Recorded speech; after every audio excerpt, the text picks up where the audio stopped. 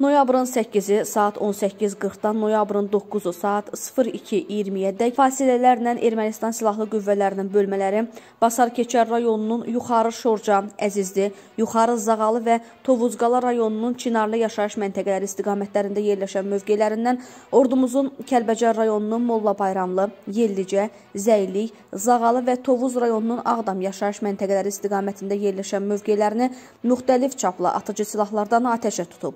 Bu barədə Müdafiə Nazirliyi məlumat yayıb.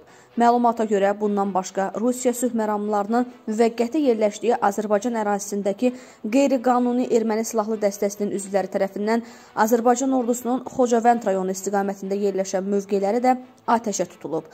Azərbaycan ordusunun bu istiqamətlərdə yerləşən bölmələri tərəfindən adekvat cavab tədbirləri görülüb.